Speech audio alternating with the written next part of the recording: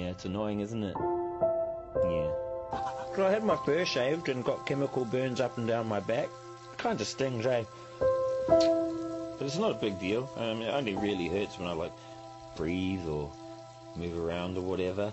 Ah, yeah. Ow. Yeah, that hurts.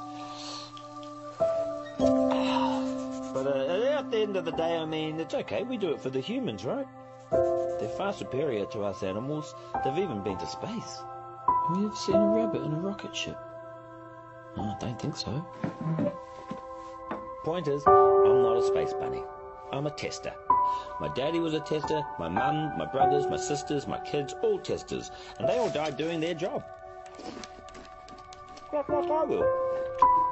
That's okay. Testing is what we were born to do. It makes us rabbits happy.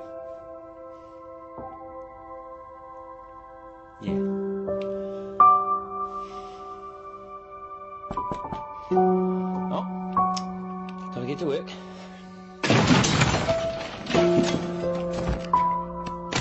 Now I know it looks bad, but the way I see it, I'm doing my job.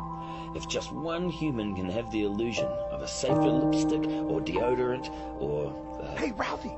Psst. Ralphie! What's with the camera crew, bro? Oh, um, they just follow me around making a documentary or something. Can you ask him to get us out of here? Yeah, yeah, what, what will we see? Come on, Ralphie, just ask him to get us out of here. I'm I don't want to die, man. Okay, Ralphie! Okay, I hear you. You, got, uh, you can edit that out, right? Oh, here we go. Hey, hey, hey, don't touch Ow, him! ow, ow, ow, shit!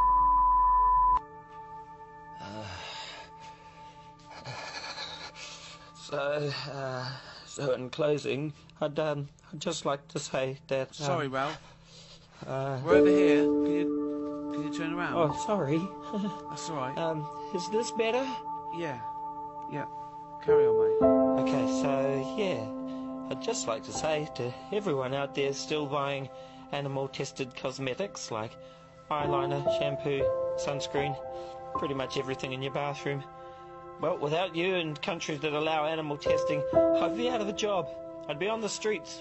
Well, not the streets, more like a field, I guess. You know, like a normal rabbit. But hey,